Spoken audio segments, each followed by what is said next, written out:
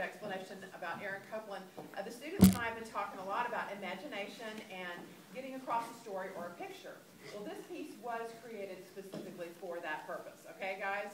So I want you to listen to the music and see the picture that the composer you think he was trying to create. At the end, you have to tell me who won, the cat or the mouse, okay?